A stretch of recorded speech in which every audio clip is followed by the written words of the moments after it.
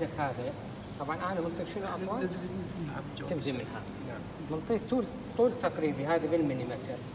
115 في 85 يعني منا ومنا. تحسبها من تجمعها يصير عندك 200 200 بالضبط. 200 مليمتر يعني 20 سنتيمتر. نعطي زين 20 سنتيمتر.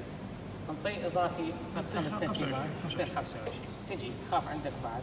عندك هذا أيضا ثلاث ثمان 100 في 100 يعني 200 هم تعطي 5 يصير 25 قصر عندك 50 اذا هسه تقص 50 من ثمان 50 سنتيمتر بالضبط صحيح. هذا ما هذا عندك آه، إيش قد نعطيك إياه.